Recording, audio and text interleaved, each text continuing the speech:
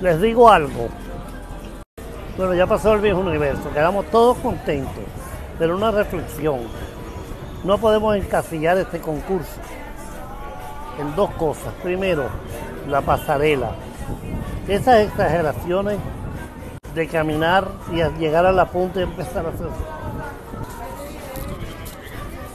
Eso no dice nada. Eso es. Eso no es pasarela ni nada. Eso es una cosa que ya tiene que desaparecer. Después, los vestidos organizadores. Tenemos que ver revistas.